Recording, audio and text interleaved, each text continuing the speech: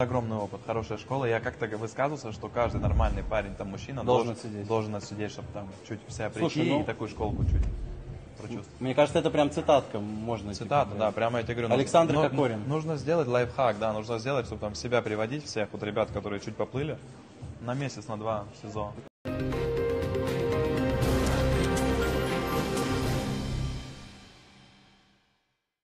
Кстати, я вот э, только сейчас, когда вы говорили про спорт, я понял, что среди ну, близкого круга, среди друзей Градского Александра Борисовича, по-моему, нет спортсменов. Фетисов? Слава. А, со Славой, со Славой. Ну, хороших да.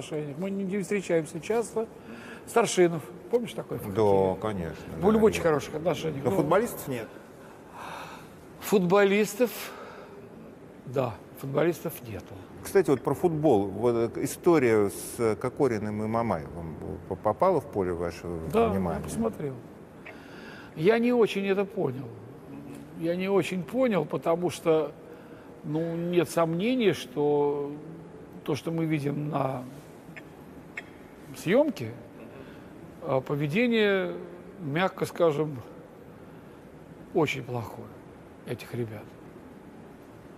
А, но я несколько раз видел съемки с участием других людей.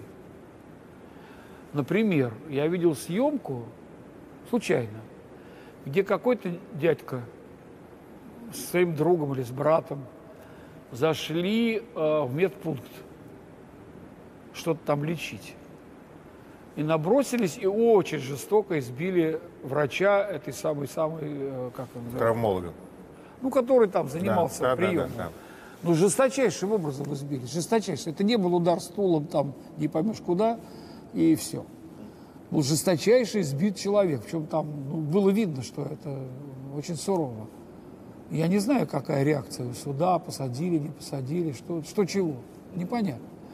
И много раз я видел всевозможные нарушения э, вот такого рода, о которых я ничего не знаю, чем закончилось.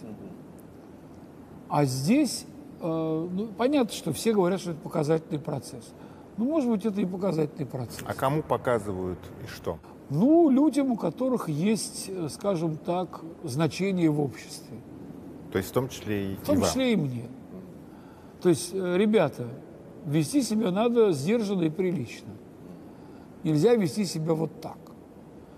А то мы не посмотрим на то, что вы вот такие заслуженные люди, и у вас будут проблемы, а может быть даже и крупные неприятности. На самом деле, ну, для меня это бессмысленно, поскольку я стараюсь вести себя так, но прилично. Но всяко случается в жизни.